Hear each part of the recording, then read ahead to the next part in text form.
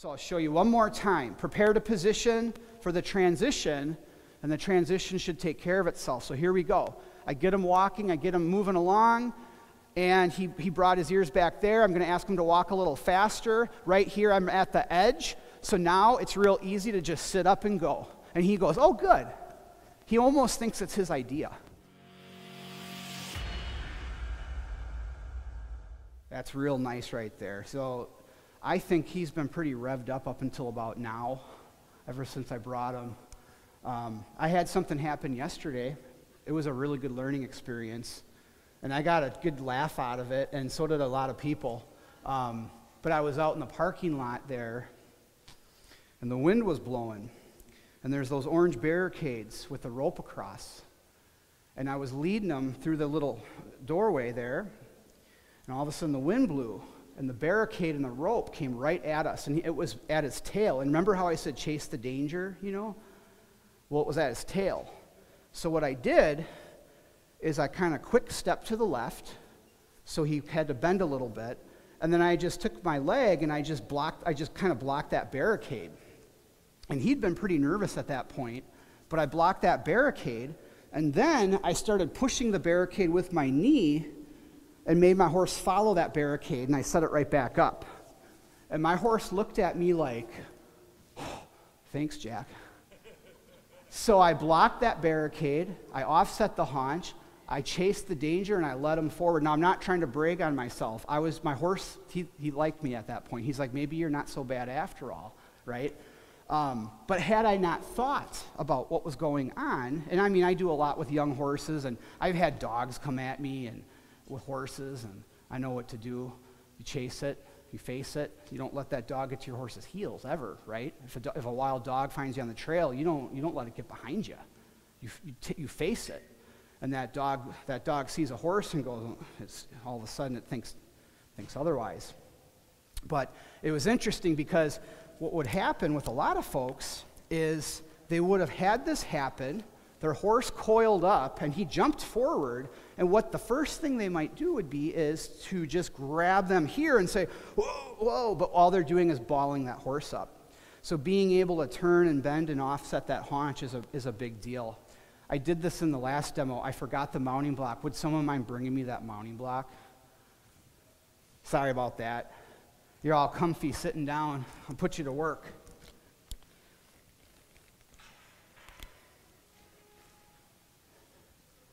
Thank you very much. Appreciate it. Oh, wherever. That's all good. Very nice. Thanks a lot. All right.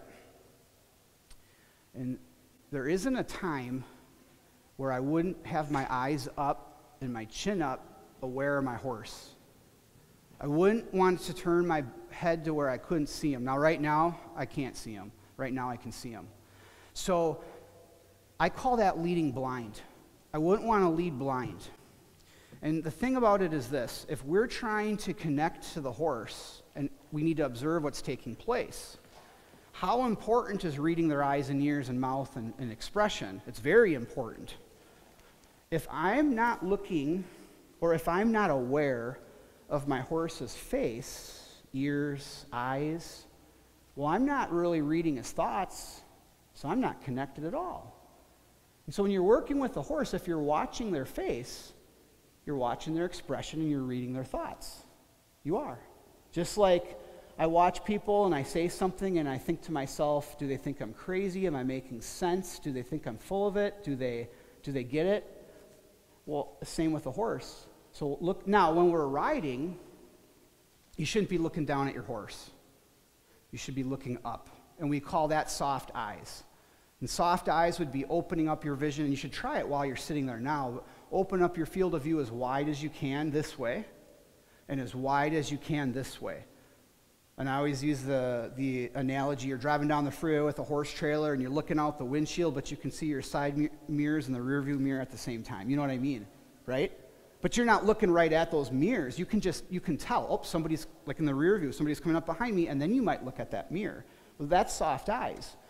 When people ride, they have hard eyes. And they generally look at the horse's head. And your horse won't change color, so you might as well not look right at their head, right? The other thing about it is this chase the danger, face your fear, the horse.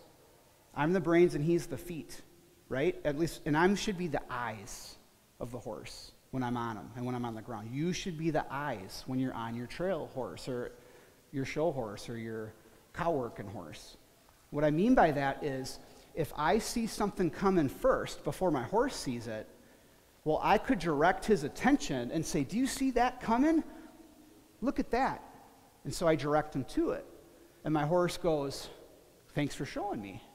And so instead of that horse spooking and getting unclear, you chased the danger, faced the danger, you took a leadership role, you directed that horse, you became the eyes and the brain. So horses have this innate, uh, it's just in there. Somebody's got to run the show. It's either you or the horse. But you don't have to get mean or mad or pushy.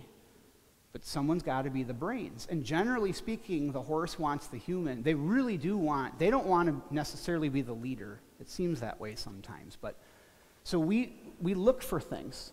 So if there's people walking, you know, or something like yesterday, it was cool because the carriage horses came in. And so all of a sudden, I had like a little ADD break, and I go, I'm going over there and chasing the danger. And so you show the horse what could scare him, right? So a dog comes running in, and, and what I would do is I would say, turn, and I would say, face that dog, get your head down, look at that. And then I would walk up to it, and I would chase the danger, face the danger. All right. So as we ride here, I want you to think back to the groundwork that we did.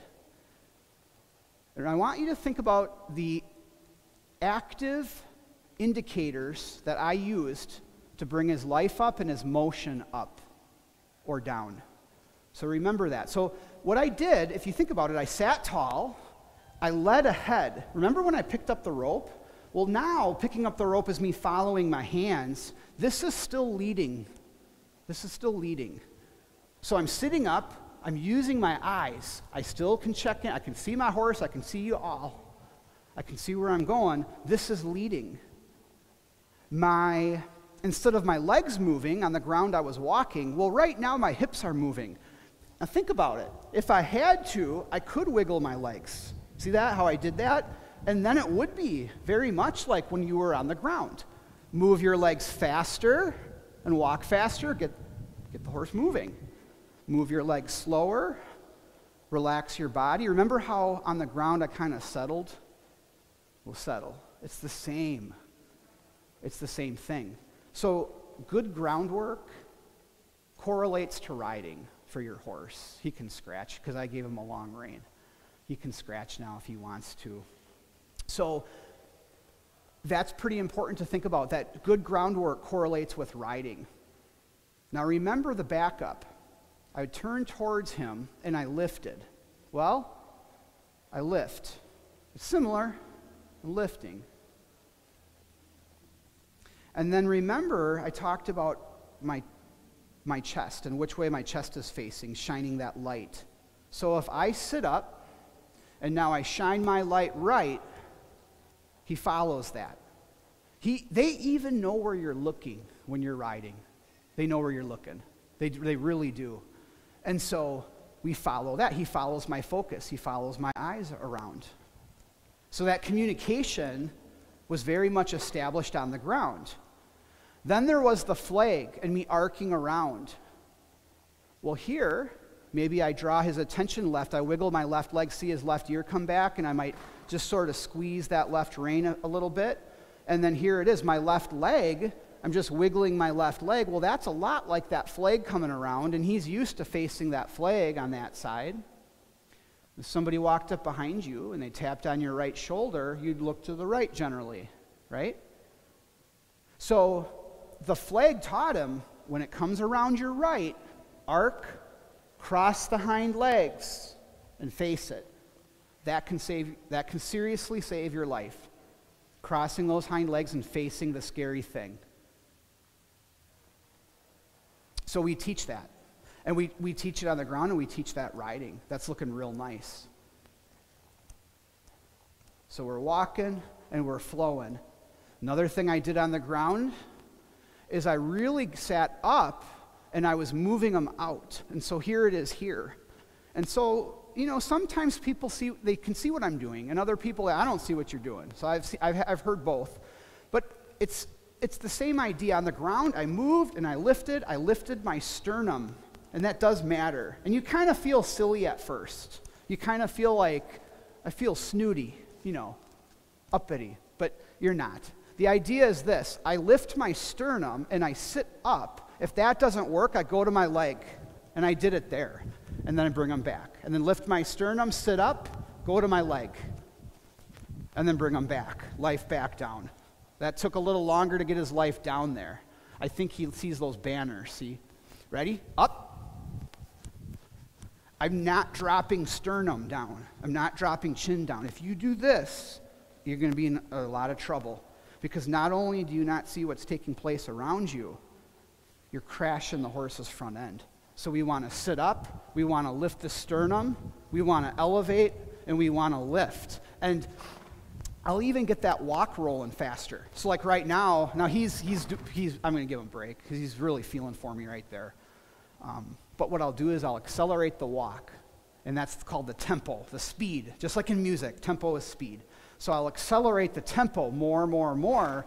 I'll get his engine revved up. I'll even shorten the rein a little bit, and pretty soon it doesn't feel like feel right to walk.